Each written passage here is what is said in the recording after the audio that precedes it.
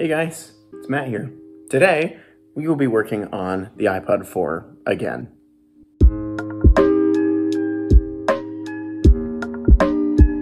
So, I think I may have figured out just a little bit more on how to get this thing working correctly. So, let's get right into it.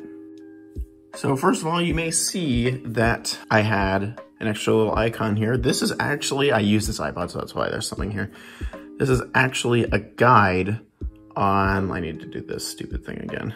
This is actually a guide on how to extract and de-encrypt a kernel cache right here, decrypting iOS kernel, oops, decrypting iOS kernel cache A4 CPU devices. And there is a huge guide here on how to do this and it has everything you need, which is amazing. So hopefully this guide will help me. So let's get to the Mac Pro and see what I can do. Ugh, things I do put this stupid flash drive back in here. And I have to save this because I didn't.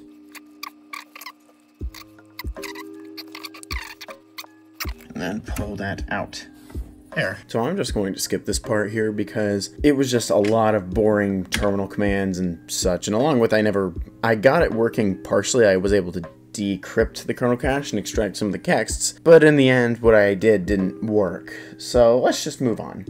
Hey guys, so I'm just to show the progress that I've made with this device. I've made still a few changes, not great ones, but it's still better than nothing. So there are only a couple things that I can really say that I've done with this. Um, at least right now, I'm still figuring out other things. First of all, there's some weird thing um, with the passcode screen. I think I keep, I like, I keep thinking I'm finding the string to remove this, but I'm not. And you can see it doesn't do anything anyways. So I'll try to enter my passcode. You can see I've got this text here to be fixed because that really bothered me. There's still a few things left that need to be changed.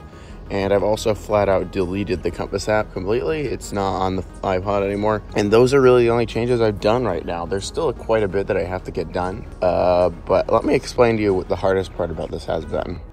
While the cosmetic changes have been pretty simple, such as changing some elements to make it feel more like an iPod Touch, there are some things that are a pain in the butt, and that is installing the files that I need to actually get everything working, like sound and Bluetooth and all that. These have been a huge pain in the butt to do, like to get actually working. I've put files in the system library extensions folder and they went there, sure, but they didn't actually work. They didn't initialize on boot up, although do some do, not the ones that I put in though, so that's fun. I need to figure out why that's the case because it is getting to the point where this is so annoying. Like I don't really know what to do at this point. I think at this point I'm going to need to go into the iPod's kernel cache, the one that's on there, and modify the files. But the problem is I've never actually been able to extract a kernel cache. I've been able to pull kext files out of one. I've never been able to open it up like a like an image file or something, which is what I'm trying to do, but I can't. I haven't figured that out yet, and I don't know if that's even possible. Kernel caches use the IMG3 format, and it is encrypted and compressed. There are ways to decrypt it, which I have done. I've decrypted it. I've decompressed it as well. But the problem is, it doesn't actually give you a file that you can well, you know, extract into a folder or something, and then you can compress back into a kernel cache.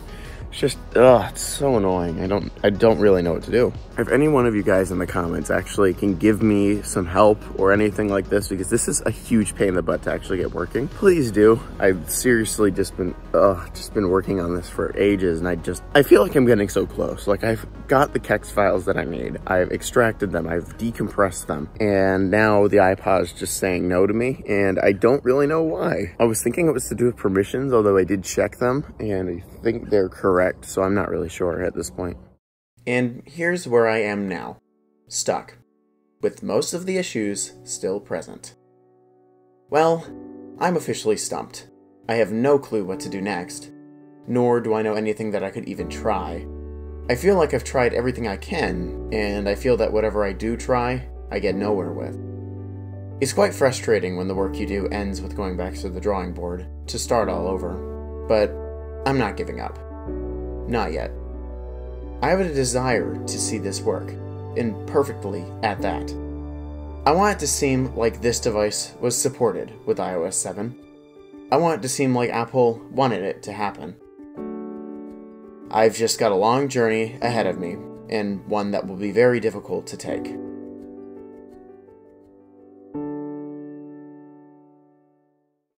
Hey guys, I'm just to give you a little update here on what's been going on besides the slightly inspirational clips. I've actually been working on the iPod project for about two months now in total. Uh, not getting very far, unfortunately.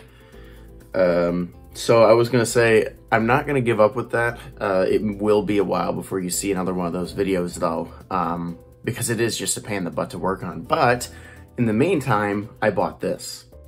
This is an original iPad. In fact, the reason why I bought this is so then you could I could see, can I put iOS 7 on here? And the answer is yes, you can. While it has never been done before, technically it has all of the same specifications as the iPod Touch 4 with an A4 processor, different display, but that's fine. It has 256 megs of RAM like the iPod 4 does.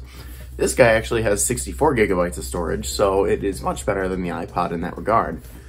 The problem is I've not gotten it to work. No matter what I've tried, I've tried the dual boot method, which errors out at uh, some point uh, before I can even boot iOS 7. So it's not ruled out completely. If I can fix that error, then it may work. And restoring it through iTunes has not given me any luck at all.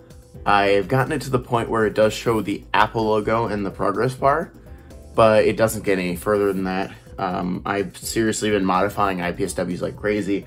I probably have like 50 revisions and they all do nothing. So if you guys have any ideas on what to do, leave it in the comments. I really want to see this original iPad run something modern. And sorry about the fingerprints because I did not clean this beforehand. Didn't really prepare for that. But yeah, if you guys want to, uh, tell me in the comments how I should get this up and running because Obviously, there are going to be people who are smarter than I am, of course, because I can't figure it out. So maybe I can get it to work? I'm really not sure. I should be able to, and I'm not going to give up until I actually do. But so hopefully I can get this working. I just, it's a pain in the butt because you have to modify an iPhone 4 IPSW, and obviously this is not by any means similar to an iPhone 4 like the iPod 4 is.